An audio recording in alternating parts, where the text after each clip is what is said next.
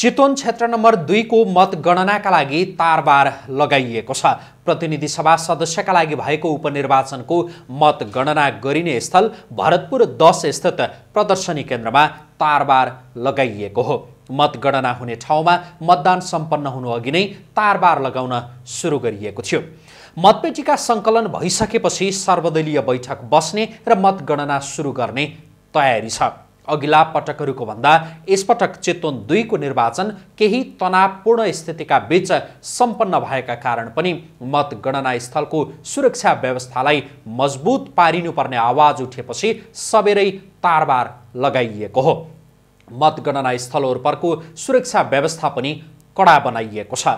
बिहान सात बजेबाट सुरु भएको मतदान करिब तिन घन्टा शान्तिपूर्ण रूपमा चले पनि त्यसपछि विभिन्न स्थानमा झडपको स्थिति सृजना भएको थियो। रवि लामी छानेले आफ्ना समर्थकहरूको टोली नै बोकेर युट्युबरसहित होहल्ला गर्दै मतदान स्थलमा गएको भन्दै उनका विरोधीहरू रवि लामी छानेमाथि खनिएका थिए। केही मतदान स्थलमा राष्ट्रिय स्वतन्त्र पार्टीका समर्थक र अन्य पार्टीका समर्थक बीच धकेला धकेल भएको थियो जसका कारण केही घन्टा मतदान नै स्थगित गरिएको थियो। मतदानका समयमा भएको सो स्थिति मतगणनाका बेला पनि दोहोरिन सक्ने आशंकामा मतगणना स्थलको सुरक्षा व्यवस्था कडा पारिएको हो।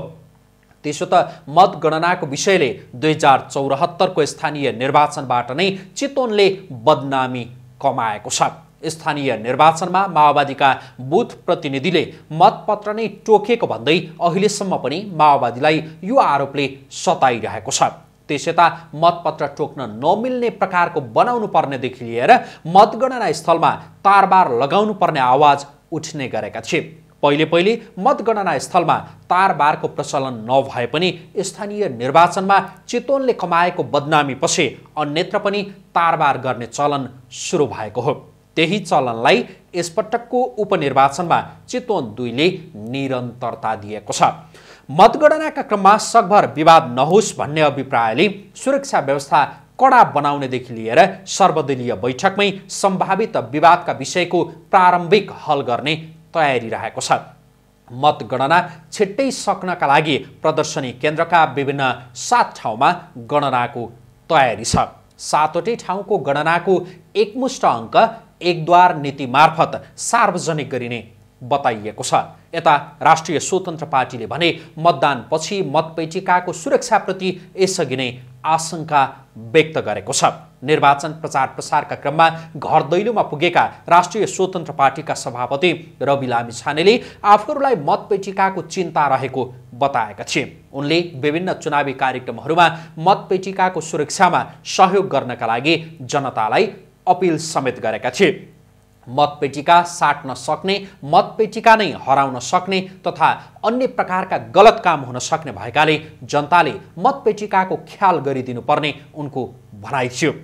देशका ठुला राजनैतिक दलहरू एकातिर र आफू अर्कातिर भएको भन्दै उनले पहुँच र शक्तिमा हुनेहरूले जनताको व्यक्त अभिमतलाई नै तलमाथि गरिदिन सक्ने बताएका थिए। यसअघि गएको मङ्सिर चारको निर्वाचनमा रवि लामी छानेले सबैभन्दा धेरै मत अन्तरका साथ जितेको चितवन दुईमा यसपटक पनि रवि लामी छानेले नै जित्ने धेरैले आकलन गरेका छन्। मतदान भइरहँदा विभिन्न मतदान स्थलमा पुगेका लामी छानेले आफूले अघिल्लो पटकको भन्दा धेरै मत अन्तरका साथ जित्ने बताएका थिए भने नेपाली काङ्ग्रेस र नेकपा एमालेका उम्मेद्वारले पनि आफूहरूले नै जित्ने बताएका थिए। यसैबीच चितवन क्षेत्र नम्बर दुईमा गएको मङ्सिर चारको निर्वाचनमा भन्दा कम मत खसेको छ।